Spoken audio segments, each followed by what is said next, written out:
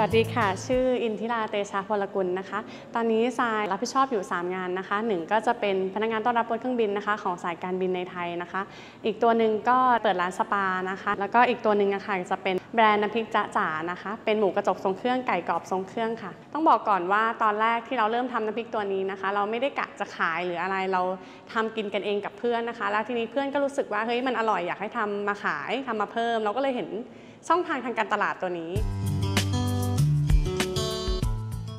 ธีการที่เราทำอะค่ะจะให้มันแบบคลีนมากที่สุดทั้งอบทั้งทอด เพราะฉะนั้นเนี่ยสินค้าของเราเนี่ยก็จะมีความ low fat แล้วก็ได้มาตรฐานสะอาด แต่ก่อนที่มันจะมาเป็นสูตรที่อร่อยขนาดนี้เราก็ต้องรับฟังฟีดแบ็ของลูกค้าด้วย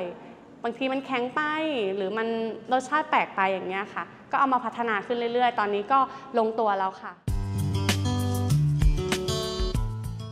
ำหรับตัวหมูกระจกทรงเครื่องกับไก่กรอบทรงเครื่องนะคะ ตอนนี้เรามีอยู่สองสูตรก็คือเป็นเผ็ดมากกับเผ็ดน้อย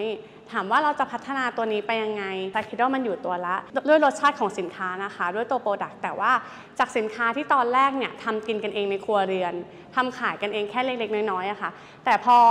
มันมากขึ้นมีออเดอร์มากขึ้น มีความสนใจมากขึ้นสายก็เริ่มให้โรงงานนะคะ โรงงานที่เรารู้จักกันที่เขามีมาตรฐาน GMP ออยพวกนี้นะคะทรายส่งให้เขาทำมันก็จะพัฒนาในการที่จะมีเอกสารมากขึ้น มีออยมีข้อมูลโภชนาการให้ลูกค้าได้มั่นใจในผลิตภัณฑ์ของเรา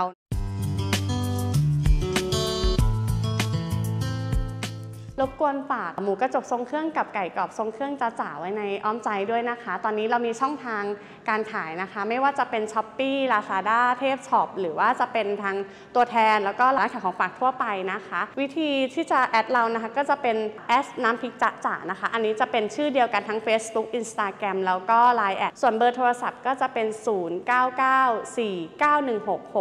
0994916619 นะคะ